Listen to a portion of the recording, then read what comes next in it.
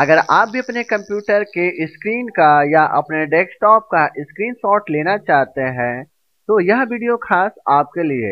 अब आइए हम जानते हैं कि अगर हमें अपने स्क्रीन का स्क्रीनशॉट लेना हो तो हम कैसे लेंगे? तो सबसे पहले अगर हमें अपने पूरे स्क्रीन का स्क्रीनशॉट लेना हो तो उसके लिए हमें कीबोर्ड से प्रेस करना है प्रिंट स्क्रीन की को। यानी कि हमें कीबोर्ड से प्रेस करना है प्रिंट स्क्रीन की को। अब उसे प्रेस करने के बाद, यानी उस कीज को प्रेस करने के बाद, अब हमें जाना है स्टार्ट पर, और यहाँ से जो हमारा एम एस पेंट होता है, उसे ओपन कर लेना है। एम एस पेंट को ओपन करने के बाद, अब हमें क्या करना है, यहाँ से कीबोर्ड से प्रेस करना है, कंट्रोल के साथ भी। अब जैसे ही हम कंट्रोल के साथ भी प्रेस करेंगे तो हमारे द्वारा जो स्क्रीन शॉट लिया गया होता है, वो यहाँ पर वो एरिया आ जाता है। अब इसमें अगर हमें कुछ भी एडिटिंग, यानी जो कुछ भी एडिटिंग करना हो या कुछ भी इसमें चेंजेस करना हो या कुछ भी इसमें लगाना हो तो उसके लिए हमें क्या करना है? यहाँ से जो भी एडिटिंग या कुछ भी आपको इसमें ड्राइंग करना है या कुछ भी ऐसा तो आप यहाँ से और ड्राइंग कर सकते हैं। अगर नहीं करना है तो आप वैसे के वैसे ही रहने दीजिएगा। फिर आपको क्या करना है? यहाँ से जाना है फ़ाइल मेनू में। फ़ाइल मेनू में जाने के बाद यहाँ पर सेव का ऑप्शन आपको मिलेगा। यहाँ से इसे सेव कर दीजिएगा। सेव करने के बाद यहाँ पर देखिए फ़ाइल नेम है फ़ाइल नेम में सेव कर दीजिएगा। सेव करने के बाद आपके द्वारा ये जो स्क्रीन लिया गया है, ठीक है? वो आपके डेस्कटॉप पर यहाँ जहाँ पर भी आप सेव करेंगे, वो आपको वहाँ पर आ जाएगा। अब हम देख लेते हैं जो हमारा स्क्रीन है, वो आया है कि नहीं?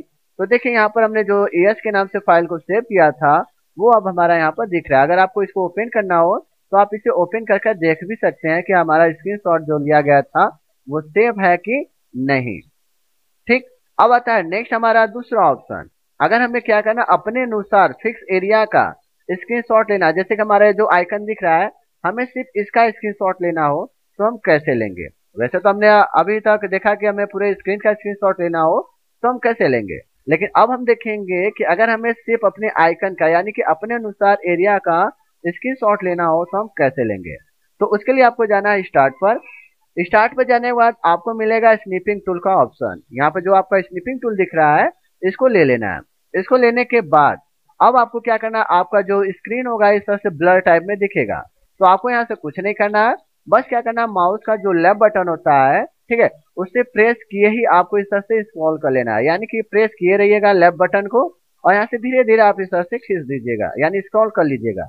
तो आपका जो स्क्रीन शॉट होगा, यानी जितना आप सेलेक्ट करेंगे, जितना एरिया को आप सेलेक्ट करेंगे, उतने का स्क्रीन शॉट यहाँ पर आ जाएगा। स्क्रीन शॉट लेने के बाद, अब आपको क्या करना है? आपको फ़ाइल पर जाना है। फ़ाइल पर जाने के बाद इसे यहाँ से सेव कर देना है। जब आप इसे सेव कर देंगे तो जैसे मेरा वो वाला स्क्रीन शॉट सेव हुआ था, वैसे आपका ये भी सेव होगा। तो इसको भी आप यहाँ से किसी भी नेम से यहाँ से सेव कर लीजिएगा। सेव करने के बाद, अब इसको जहाँ पर भी डेस्कटॉप पर रखना है, डेस्कटॉप पर डाउनलोड में रखना है तो डाउनलोड जहाँ पर भी रखना होगा, वो आप एरिया इसको सेलेक्ट कर लीजिएगा। तो मैं डेस्कटॉप पर रखना चाहता हूँ तो यहाँ से डेस्कटॉप को ले लेता हूँ। अब डेस्कटॉप को लेने के बाद, अब हमें क्या करना है, यहाँ से सेव वाले ऑप्शन पर क्लिक कर देना। तो हमारा यह जो फ़ाइल होगा, वो सेव होगा। अगर इसे भी देखना हो तो आप यहाँ से इसे देख सकते हैं। देख लीजिए, आपका जो स्क्रीन शॉट है, वो हो चुका है। ठीक है? अब हमारा नेक्स्ट ऑप्शन आता है, यानी कि तीसरा स्क्रीन शॉट लेना। अब इसका प्रयोग हम वैसे ऑप्शन के लिए करते हैं, जिसका स्क्रीन शॉट हम नॉर्मल तरीके से नहीं ले पाते हैं। तो आइए उसका स्क्रीन शॉट लेना चाहते हैं, कैसे लिया जाता है? जैसे कि यह ऑप्शन हमारा जो दिख रहा है। अब हमें क्या करना है? इसका स्क्रीन शॉट लेना हो। तो अगर हम नॉर्मल तरीके से लेना चाहेंगे तो स्क्रीन शॉट इसका नहीं ले पाएँगे। अगर हम फुल स्क्रीन का स्क्रीन शॉट लेते हैं तो वो पूरे स्क्रीन का स्क्रीन शॉट हो जाएगा। तो हमको उसको सेट करने में, फिर वो करने में पूरा टाइम लगता है। लेकिन अगर हमें सिर्फ़ डायरेक्ट इसी का स्क्रीन शॉट लेना हो तो हम कैसे लेंगे? तो उसके लिए आपको ओपन करना है प्रिंट स्क्रीन यानी स्निपिंग टूल जो आपका होता है, यानी ये जो टूल आपको दिख रहा है, बस यहाँ से इसको ले लेना है। यानी इस ऑप्शन को ले लेना है। लेने के बाद यहाँ से आपको क्या करना है, जो कैंसिल वाला ऑप्शन दिख रहा है, यहाँ से इसे कैंसिल कर दीजिएगा। कैंसिल करने के बाद, अब आपको क्या करना है, अपने डेस्कटॉप पर माउस का राइट बटन क्लिक करना है। अभी ऑप्शन आपका जब आ जाएगा, अगर मान लीजिए यहाँ से हम न्यू करते हैं, न्यू करके इसका स्क्रीन लेना चाहेंगे तो आप नहीं ले पाएँगे, क्योंकि वो हट जाएगा। तो हम कैसे लेंगे? ठीक है तो यहाँ से आपको कैंसिल कर देना है। कैंसिल करने के बाद इस ऑप्शन पर, यानी डेस्कटॉप पर राइट क्लिक करना है। तो आपका ये जो ऑप्शन होगा, वो आ जाएगा। अब आपको क्या करना है, कीबोर्ड से प्रेस करना है, कंट्रोल प्लस प्रिंट स्क्रीन, यानी कंट्रोल के साथ प्रिंट स्क्रीन ऑप्शन को प्रेस कर देना है। यानी जो हमारा की होगा प्रिंट स्क्रीन उसे प्रेस कर देना है। प्रेस करने के बाद, अब देखिए आपका जो स्क्रीन शॉट है वो लेने के लिए तैयार हो चुका है।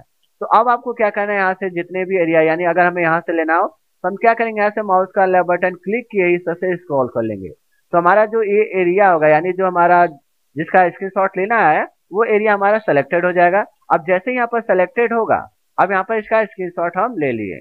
अब यहाँ से हमको इस फ़ाइल को सेव करना तो फ़ाइल में जाएँगे और यहाँ पर सेव पर जाएँगे सेव एज पर, और यहाँ से जिस भी नाम से सेव करना हो, वो नाम हम यहाँ पर दे देंगे, ठीक है? देने के बाद यहाँ से इसको जहाँ पर भी रखना हो, वहाँ पर रख दीजिएगा। रखने के बाद यहाँ से सेव कर दीजिएगा। तो यह फ़ाइल भी आपका यहाँ पर देखिए, आ चुका है। तो इससे से क्या होता है कि हम अपने डेस्कटॉप का तीन तरीके से स्क्रीनशॉट ले सकते हैं। अगर आपको भी लेना हो तो हमारे इस वीडियो को पूरा देखिएगा।